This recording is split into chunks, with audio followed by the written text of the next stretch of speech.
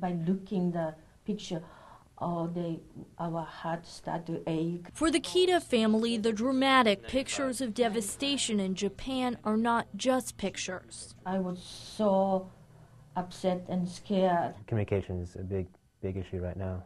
The family moved to the U.S. decades ago, even raising their three boys here. But they left many relatives and friends behind. At first, didn't really believe what was going on, but then you saw the images of just the wave coming across the land, and it's sort of the reality gradually sunk in. My first uh, thought was uh, uh, finally it came.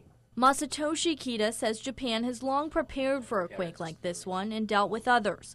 The family is part of the Japan America Society of Vermont, and its president felt a quake of his own in Tokyo six years ago. And it was a 5.9 earthquake that night, uh, enough to wake you up, and the bed was shaking and moving. This time was different, though, and since then it's been nonstop. I think I took at least 60 emails yesterday after I got off work. It's hard to see what's going on back in the homeland and not being able to really fully engage with that. What they can do is be thankful. All their friends and family seem to be safe.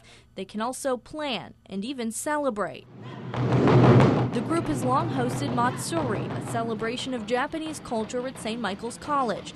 It's set for March 27th this year, and it could be a chance to help. It'll just be a way of celebrating those people who did lose their lives and their livelihood. It is our people. That's where we come from.